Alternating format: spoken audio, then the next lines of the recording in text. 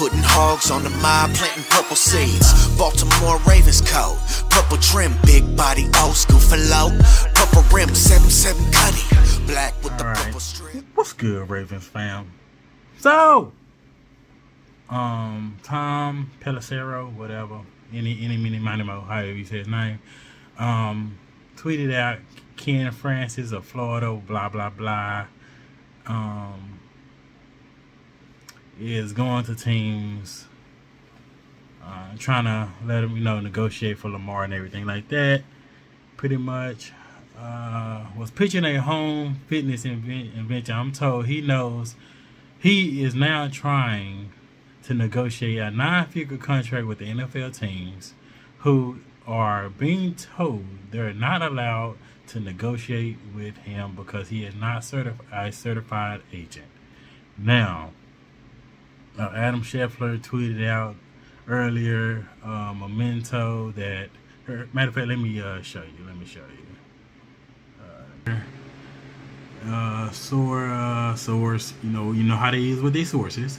NFL sent a memento to all clubs, setting the, letting them know that the NFLPA is informed about the league. That's what I said about Francis and all that. He entered negotiations for Lamar. Now, Lamar came out and Stop lying. That man never tried to negotiate for it. Now, it's really ridiculous that Lamar has to go to this extent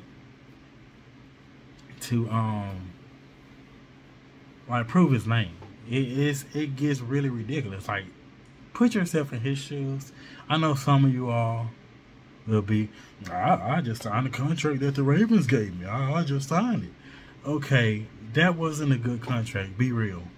Break it down in terms. It was not a good contract. Now, if you want it to be broken down in terms, visit my fam lunch break hot take. They broke it down very well. Helped me understand a little bit because I was like, that contract still look fishy to me. But not just concentrating on that. All of these reports coming about Lamar, and Lamar had to continually continually break it down. said that's a lie. That's not true. This is what they offer me. Like he said that 133. He said that 133. I believe it was 133, something like that, for three years or something like that. Like something ridiculous. And then he had to sit there and fight the media, ESPN, Fox Sports, Adam Schefter, which we know he has a huge problem with Lamar because Lamar does not have an agent. Then we have undisputed Shannon Sharpe doing his his his uh his tap dancing. And Lamar now needs an agent. At first he said a while back Lamar don't need an agent, he can handle this. Now he's saying Lamar needs an agent. So he's tap dancing. And then you gotta continually think about even Lamar tweeted this out. Mental stress. Look, this is every day. Every day. Think about that. Every day. But it's okay not to be okay. Mental health awareness. Every day. Now we all go through something every day. But what we are going through is not public publicized like Lamar, LeBron James, any black sports person, even some some uh, matter of fact, uh, what's that? Uh, um, uh, Johnny Football, Johnny Football.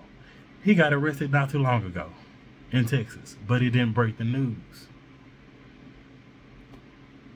and that tells you right there, like he was big, all of that. He's not in the NFL no more. Some of these players they go through things. Some are broadcasted, some are not. It's just like what lunch break hot take uh, B said. Um, Kirk Cousins, he got fully guaranteed twice, and he's still getting paid. And we all know he's trash, but nobody mentions that. Lamar has to continually carry everything on his back. Josh Allen was trash before Stefon Diggs. Lamar is awesome without anyone. No help. And that tells you the type of difficulty you you uh, people come up come with with so much just pressure on their back. And Lamar lives that day in and day out. Probably shoot since he was little.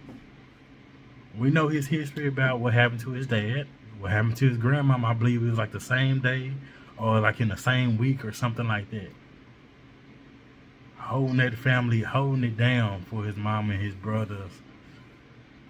Just, whew. So I'm praying for the dude. I'm hoping something works out. I want him to be a Raven, but I hope the Ravens could come to the task and be like, you know what? Let's just get this over with. Let's let's meet. Let's meet in the middle. Let's meet in the middle. Let's try to get this over with. But I highly doubt that because the Ravens are stubborn.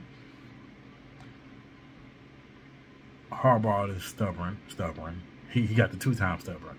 EDC is stubborn. And I like EDC. But